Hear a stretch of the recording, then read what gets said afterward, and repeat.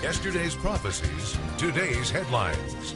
This is the Hal Lindsey Report. And now, Hal Lindsey. Good evening, and welcome to this edition of the Hal Lindsey Report. Last week, CNN ran a story claiming that President Donald Trump could be manipulated by flattery.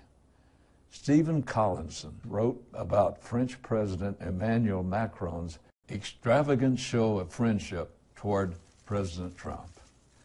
He explained some world leaders think the best way to get to Trump is not to rebuke or lecture him, but to flatter him and show him respect.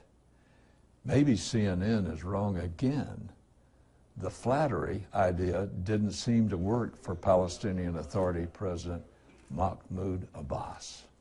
On May 12th, the Jerusalem Post reported Abbas has crossed the Rubicon and voiced unprecedented readiness to reach a peace deal with Israel. Abbas, according to sources, made this clear to President Donald Trump during their meeting at the White House. When the two leaders met, Abbas gushed over President Trump's leadership, courage, wisdom. He tried to flatter Trump with the talk of your great negotiating ability. In English, he added, Now, Mr. President, with you, we have hope. But so far, at least, the Abbas charm offensive seemed to have had no effect. Abbas is the architect of Palestinians' pay for slay system of giving cash rewards to the families of terrorists. In a public statement, as he stood beside Mr. Abbas, the president gave a powerful rebuke. He said, Peace can never take root in an environment where violence is tolerated, funded, and even rewarded. According to the Bible, there will be no lasting Middle East peace until Jesus returns. But we should never fault a leader for working toward peace. Jesus said, Blessed are the peacemakers. However, that does not mean we should accept just anything as long as it's called peace. A peace treaty built on lies is worse than worthless. It is dangerous. When the civil war in Syria ends, Hezbollah will aim its missiles south again. And Hamas is always working toward another fight. In other words, pray for the peace of Jerusalem daily because until Jesus returns, Israel will never again be out of danger. Over the last thousand years, one of the hallmarks of Roman Catholicism has been a resistance to change. For instance, St. Peter's Basilica was completed in the year 1615. At the Vatican, they still call it New St. Peter's. But things are changing in Rome and they are about to change even faster. In the British newspaper, The Independent, Samuel Osborne wrote, during his four years in office, Pope Francis has declared evolution is real, assured atheists that they don't have to believe in God to go to heaven, and spoken out against the rise of populism in the West. On the topic of evolution, Francis basically said that God does not have the power attributed to him in Scripture. He said, when we read about creation in Genesis, we run the risk of imagining God was a magician with a magic wand able to do everything. But that is not so. The Pope has one thing right. God is not a magician and he has no magic wand. He has something better omnipotence and his word which is the authority of omnipotence. So, yes, Pope Francis, God is able to do everything. He doesn't need evolution. Francis went on to say, He, meaning God, created human beings and let them develop according to the internal laws that he gave to each one so they would reach their fulfillment. Francis credits evolution with allowing human beings to reach fulfillment. He implies that God could not create humanity in the way the Bible says. So, he relied on a greater power, evolution, to do the job for him. The Roman Catholic Church has espoused a belief in evolution since 1950. So that part's not new. The difference now is that this Pope denies God's ability to create man without the aid of evolution. He's saying that for God to do as he claims to have done would make God a magician. It's hard to fathom a position more insulting to the God of the Bible. But Francis has made an even bigger change. Hebrews chapter 11 verse 6 says, Without faith it is impossible to please him, for he who comes to God must believe that he is. According to Francis, faith is no longer required. He said, You ask me if the God of the Christian forgive those who don't believe and who don't seek the faith? I start by saying, and this is the fundamental thing, that God's mercy has no limits if you go to Him with a sincere and contrite heart. The issue for those who do not believe in God is to obey their conscience. He removes faith. Then he makes conscience the final measure of right and wrong. But the conscience is fallible. The Bible says it can be seared, made ineffective when it is ignored often enough. For him to say God's mercy has no limits is even worse. It is a rejection of Christ and the cross. If God's mercy has no limits, then he would not have wrath against sin, and the cross would not have been necessary. Jesus received God's wrath in our place on the cross. Romans chapter 6 verse 23 says, "The wages of sin is death, but the free gift of God is eternal life in Christ Jesus our Lord." But that gift is only activated by faith.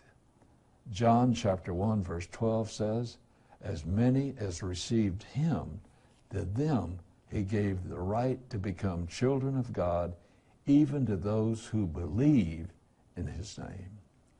Francis tells us that a contrite man need not believe. But Jesus said, He who does not believe will be condemned. 1 John chapter 5 verse 10 says, The one who does not believe God has made him a liar because he has not believed in the witness that God has borne concerning his son. Last week, the Associated Press reported a close confidant of Pope Francis writing Thursday in a Vatican approved magazine condemned the way some American evangelicals and their Roman Catholic supporters mix religion and politics, saying their worldview promotes division and hatred. The close confidant of the Pope is Father Antonio Spadaro. The Pope's friend bemoans Catholics working with evangelical fundamentalists, calling it an ecumenism of conflict. Over the last few decades, Catholics have worked hard toward a principle of unity or ecumenism among the world's churches. Ecumenical means universal, but under Pope Francis, liberal politics are more important than unity. The article criticizes conservative Catholics who have allowed their faith to influence their politics. So apparently, it's okay for the Catholic faith to push adherents toward extreme left wing politics, but not toward the right. It's okay, for instance, if they emphasize the evils of capitalism. As for ecumenism, it's okay if Catholics seek unity with Muslims, Wiccans, or animists, but not people who believe the Bible and honor Jesus. Evangelicals used to worry that Catholic leaders were trying to bring all of Christendom under the leadership of the Pope. But if you truly believe the Bible, the new Vatican leaders don't even want you, not even if you are already a Catholic. Among liberal Protestants and liberal Catholics, a new breed of clergy is coming into power. They want to create a new, all inclusive super religion. All inclusive except for real believers in Jesus. Under this new religion, old labels like Buddhist, Hindu, Muslim, and Catholic would remain, but over them would be a one world super religion. According to the Bible, these people are unwittingly setting up the religion of the false prophet, a religion centered on Antichrist and Satan himself. I know I have a large number of Catholics in my audience. Many of you are grieving over the words and actions of this Pope. I grieve with you. This should remind us all that only Jesus never lets us down. In such a time as this, trust Him alone. Jesus told us that signs of the end times would be like the labor pains of childbirth. They come and go, then return stronger than before. They also grow more and more frequent. One of these signs is that of famine. Over the last few years, worldwide starvation and hunger seemed to subside. But in March, United Nations humanitarian chief Stephen O'Brien announced more than 20 million people across four countries face starvation and famine. He called it the largest humanitarian crisis since the creation of the UN. The Bible also describes a dramatic rise in drug use near the end of the last days. The New York Times recently ran a major article on the tide of opioid dependent newborns. Marijuana has always been recognized as a gateway drug, so it's no coincidence that the U.S. opioid epidemic explodes as state after state legalize marijuana. Many conservatives, such as Eric Bolling of Fox News, now support the legalization of marijuana. Bolling emphasizes the tax revenue it generates. But the problem with so called sin taxes is that sin always costs society more money than the tax revenue it generates. And that's just the money. The real cost is in the destruction of families, wrecked lives, lost potential, and the massive spiritual destruction. They answer that people use marijuana anyway. But historically, legalization always increases participation. By the way, that is one of my objections to the legalization of same sex marriage. Since legalizing the recreational use of the drug, the state of Washington has seen a surge in marijuana related traffic deaths. Legalization in Nevada caused such an increase in use that the state had to enact an emergency regulation lowering the standards of who can transport the drug.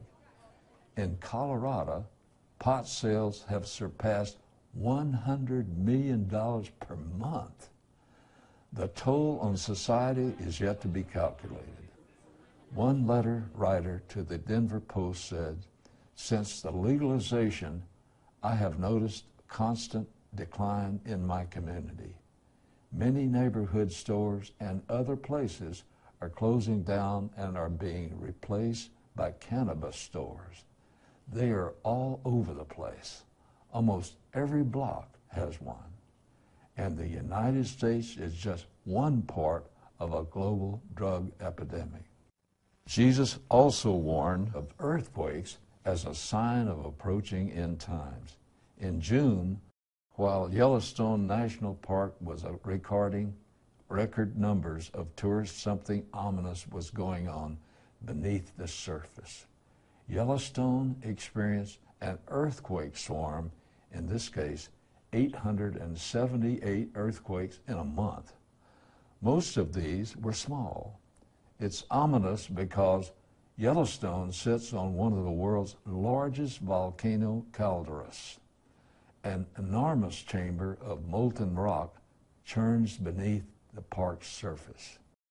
Scientists say the magma chamber is 37 miles long, 18 miles wide, and 3 to 7 miles deep. Heat from the magma powers the park's more than 10,000 geothermal features, such as geysers and hot springs, including the famous Old Faithful. It causes the ground in Yellowstone to periodically rise and fall. Over time, it's as if it's seething. Yellowstone is known as a supervolcano. That means it is thousands of times more powerful than a regular volcano. Yahoo News reported on a study of a possible eruption.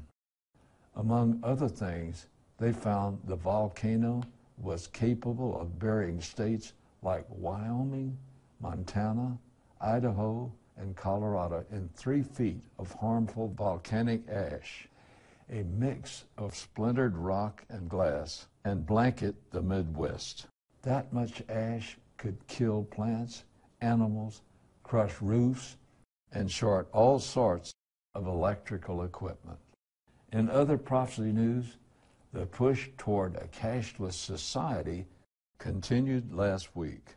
Visa offered $10,000 to small restaurants and food trucks who would agree to stop taking cash. And we continue to see an increase in Satan worship and the occult. These things are so common now that people are becoming accustomed to it. But it's important to understand that they are leading to a time of worldwide satanic worship during the rule of the Antichrist. Over the last few weeks, a battle has been brewing in Belle Plaine, Minnesota. The people in the small town wanted to honor fallen veterans. They erected a two foot steel memorial and call it Joe, but it featured a cross, and you know what that means.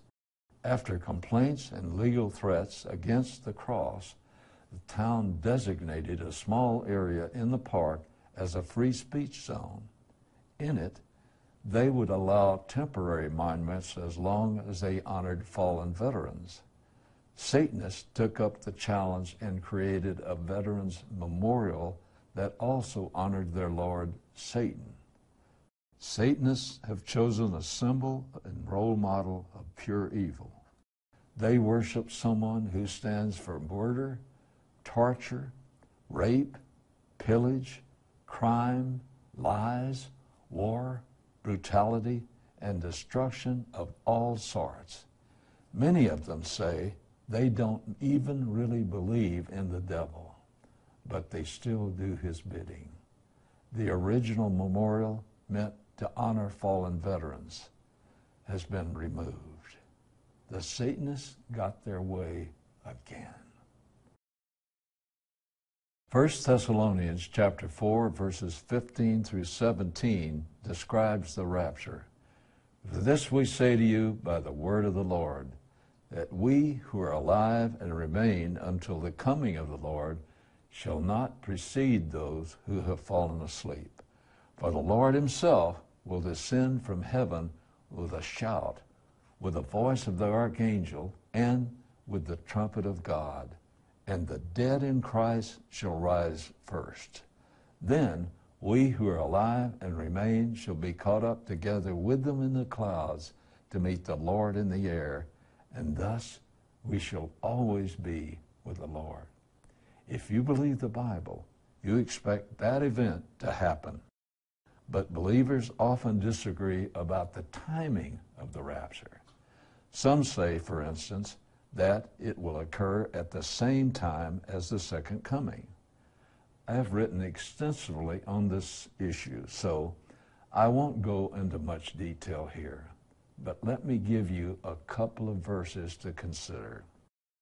In Luke chapter 12, verse 40, Jesus said, Be ready, for the Son of Man is coming at an hour that you do not expect.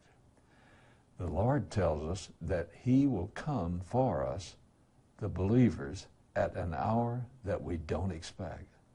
But if believers were around to see the emergence of the Antichrist, the invasion of Israel by Russia, and other signs that occurred during the tribulation, how could they possibly not be expecting Jesus to return?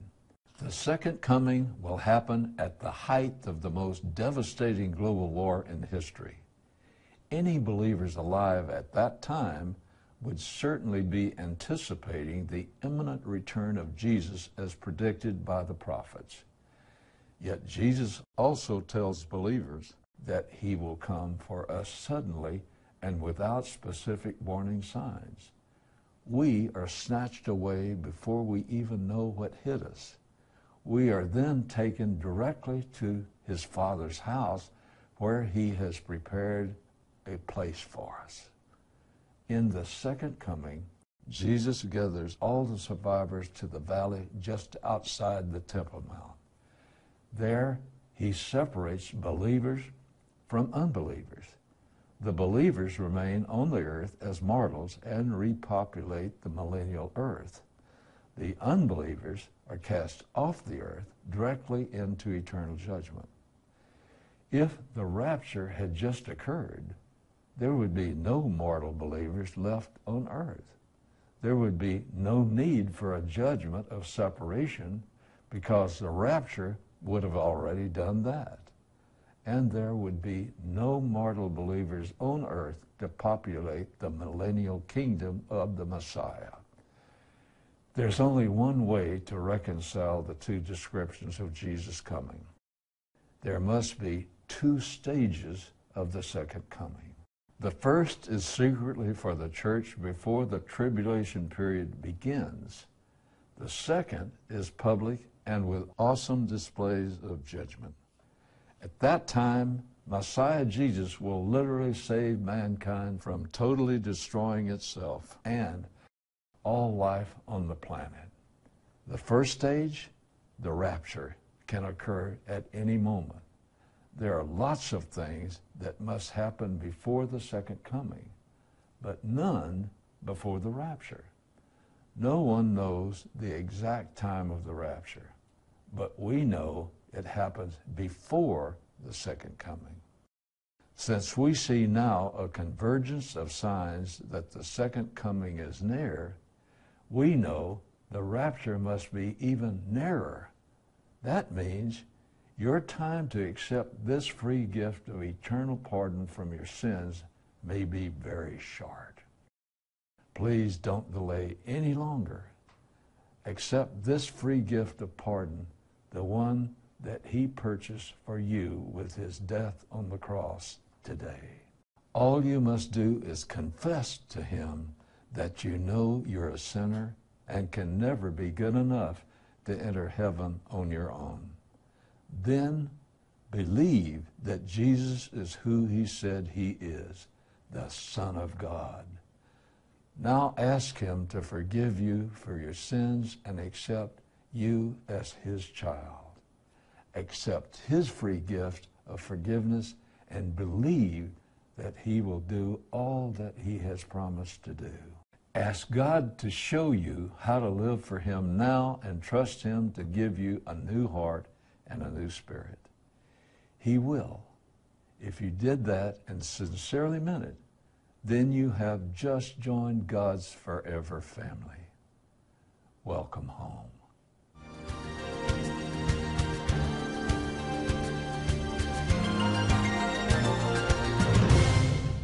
Well, that's it for tonight, folks. God willing, I'll see you next week. You've been watching the Hal Lindsey Report. To support this program, send your tax-deductible gift to Hal Lindsey Media Ministries, P.O. Box 470-470, Tulsa, Oklahoma 74147. You can also support this ministry online. Visit hallindsey.com or call 1-888-RAPTURE.